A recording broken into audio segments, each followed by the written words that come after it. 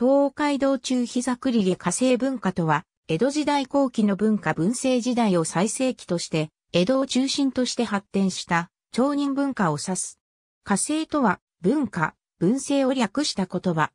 浮世絵や滑稽本、歌舞伎、川柳など、一般に現代に知られる江戸期の町人文化の前世紀にあたり、国学や蘭学の大成した時期でもある。講義の定義では、18世紀後半から19世紀前半の非常に長い期間を含む場合がある。私学上は、江戸前期に上方を中心に起こった町人文化である原力文化と対比され、強楽的色彩が強いとする。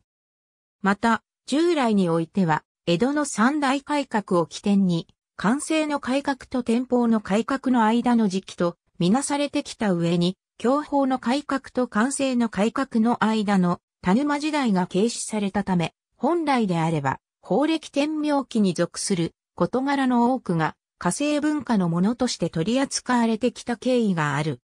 そのため、近年は法暦、天明文化と新たな時代区分が定義されており、従来、杉田玄白や元織り長、与謝武尊といった火星文化の代表人物として扱われることも多かったものが、法暦、天明期のものに変更されている部分もある。江戸時代後期に江戸を中心として栄えた町人文化を、その最盛期とされる文化、文世期を中心に据えて定義される文化、また時代区分である。政治、社会の出来事や日常の生活を風刺する川柳が流行し、文学では、実編者19の東海道中膝栗毛のように、庶民生活を面白おかしく描いた滑稽な作り話が好まれた。版画では多彩な色彩を表現できる技術が向上し、そのような技術で作られた版画は、錦絵と呼ばれた。江戸から発生し、商人などの全国的交流や出版、教育の普及によって各地に伝えられていった。また、これに伴い、内容も多様化していき、庶民へと浸透していった。